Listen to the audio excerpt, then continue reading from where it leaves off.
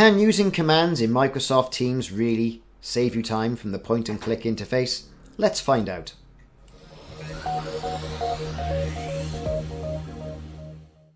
For those of you who've been using Microsoft products for some time, you'll know that there are many different ways on performing certain tasks. Whether it be using the point and click interface or whether using the command line, you can get things done in a various number of ways, and Microsoft Teams is of no exception. Yes, you've got a very evolved interface that, after prolonged use, can seem intuitive and you can't think of another way of doing certain things.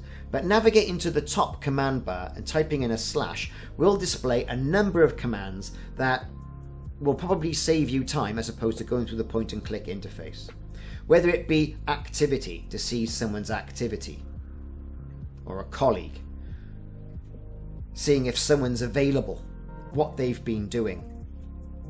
Your activity, whether you're set to busy, whether you're set to away or do not disturb, can always be seen by the top icon in the top right hand side. By selecting one of your colleagues, you'll see exactly what they've been doing. Are they available? Are they working in Teams? Are they working in Skype? What have they been doing within the whole Office 365 productivity suite? And it'll give you a good idea whether or not you can be able to contact them or not, or pester them. Pester being an active word.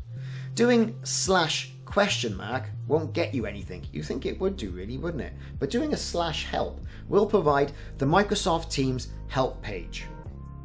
This is great because it gives you all the information on how to do certain things in an intuitive format. Slash help. How do I do that in Microsoft Teams?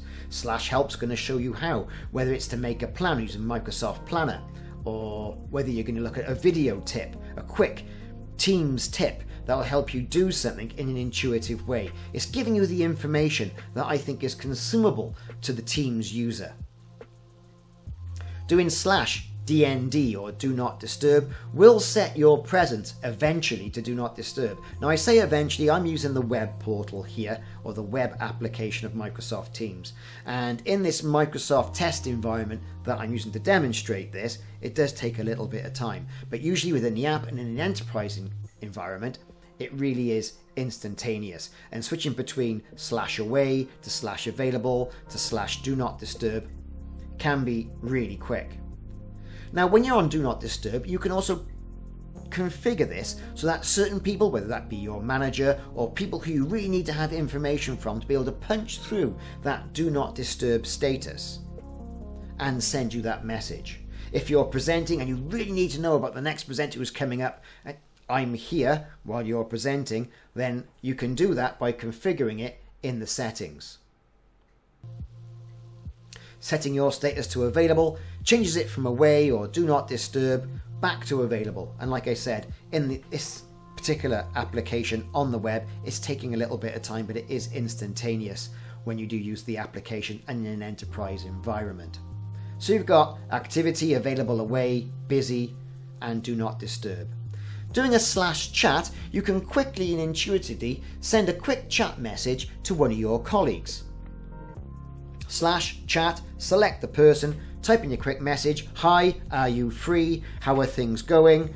Is going to get you where you want to be, as opposed to scrolling down and finding that particular person on the left hand side and then typing in your message. Doing a slash and files will bring up a list of files in whatever storage you've got available and the last files that you used. This can be invaluable when you've got multiple storage and cloud storage like Box or OneDrive attached as well, not to mention all the files you've got on your PC and within Microsoft Teams within the productivity suite as well. Slash files is absolutely great. And don't forget you can search on your files as well and to see what files you've been recently you've been recently using. By starting to type a file, we'll produce a file. Although I find this probably more intuitive to actually go to the file icon on the left hand side, click that, click your particular storage where you know you've put it somewhere, and then search through the files on who's last edited that file. You can see that. When did they last edit it? I find that personally to be easier for me.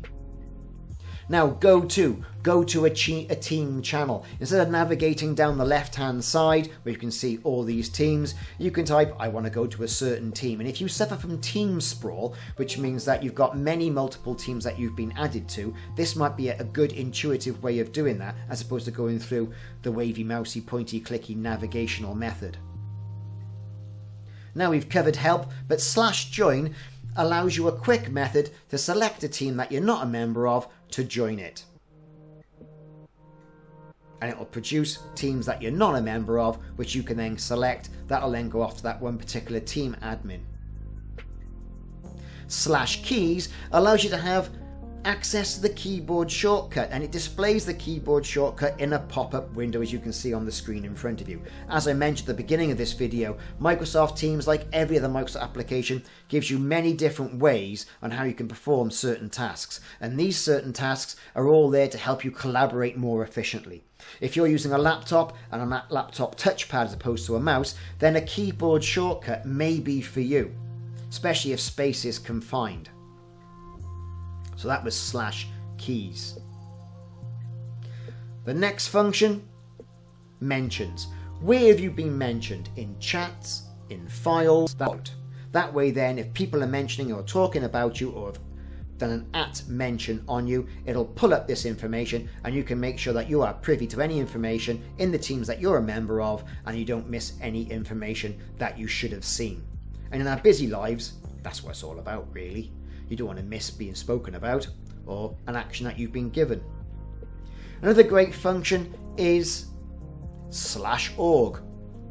Now select, type in slash org, slash org comes in the little left hand side of the command panel and select somebody who you want to see who their colleagues are, who they work for, who their management change chain is.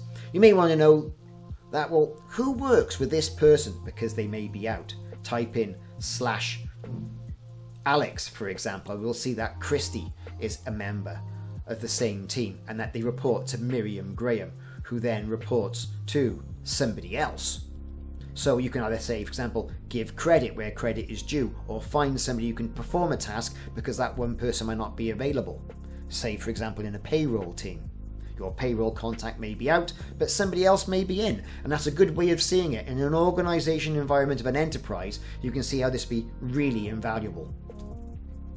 Now you can also have private conversations and calling, and you can see what conversations have been saved as well by doing slash saved. You may think a particular conversation in a message thread is really important, you don't want to forget that.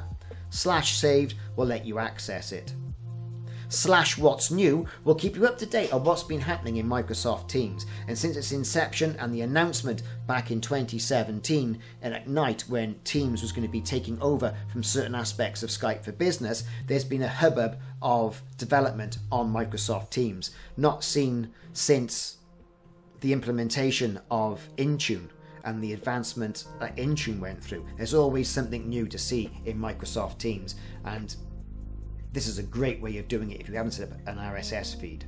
Slash Who and the Slash Who bot, however, is a bit like Clippy. You may remember Clippy, he was that little AI assistant in Word. Who is or who will then pull up information or pertinent information of certain individuals who may be in your enterprise.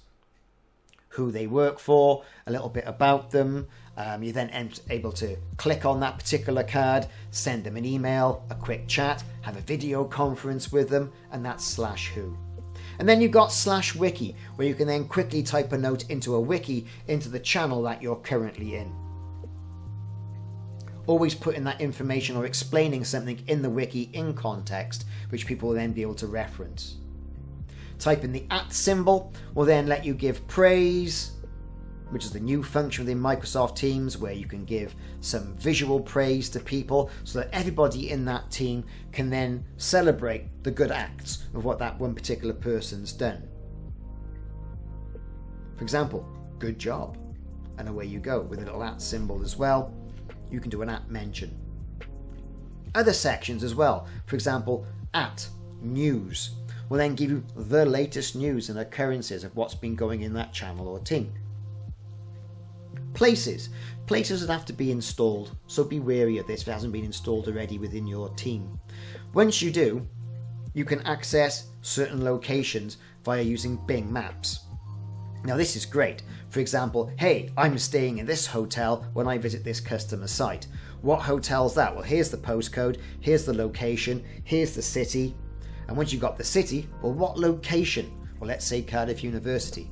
And it'll bring up a Bing map, allow you to have directions as well, so you can plan your route from one location to another without going out onto the internet, bringing up Bing Maps, typing it all in. Everything can be put in context. And when you think about planning travel for a particular team, everyone that can be put within a chat, and that particular team can then look at it and say, hey, well, we're all staying here. Where's the nearest bar to the customer site? How far is it from the taxi rank? That sort of thing as well. All these commands are here to save you time. And one in particular thing I do like there is at YouTube, amongst others. By installing this, you get an instant YouTube interface, which will allow you to search that command line via slash YouTube, right, for any particular items, whether it be Microsoft Teams videos, and you'll see it'll go out, interrogate YouTube, and it will provide some of the more commonly used Microsoft Teams video via that one particular interface. Now, as I've mentioned, I'm using a Microsoft demo environment um, to demonstrate these videos, not the corporate environment that I'm a member of. And as a result of this, some responses may be a bit jaded around the availability. What I can say to you is in a corporate environment, on a pure Office 365 tenant that's being used, the availability switching is very quick. It's virtually instantaneous. Setting yourself from available to away, do not disturb, and back, right? Is a snap of a finger. So I wouldn't be too concerned about that, what we're seeing here. Very important is what's new. Keep up to the new, um, what's going on within Microsoft Teams, the new functionality that's happening all the time. You can scroll through and see what's happening there. So that was a quick and brief look at the commands section on Microsoft Teams. I hope you've enjoyed it. Like I say, I've been using that web interface and it works pretty well, and I think this will be an addition to help you collaborate quicker and easier. I've been the Collaboration Kernel. Check back for more videos in the series, and I'll see you soon.